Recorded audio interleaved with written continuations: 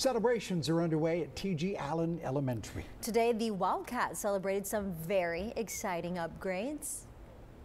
Three. It is officially official when you know the ribbon has been cut. The community was also invited to join in on the fun today as students and staff gathered to get a look at the school's newly renovated library that Principal Celeste Fernandez says will be for all to enjoy. It's very exciting because we are opening up our library to our students, staff, and families so they're able to see all the great things that we're upgrading in our renovations for our library. And a great crowd out there tonight. Congratulations to those lucky students, and hopefully the new look will inspire lots of reading, and I bet you it will.